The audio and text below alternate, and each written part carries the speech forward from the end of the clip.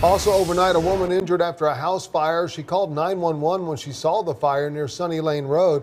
Told she was not inside when it started, but was injured when she ran inside to rescue her pet. She was just then coming home. She is expected to be okay. Crews are still investigating the cause.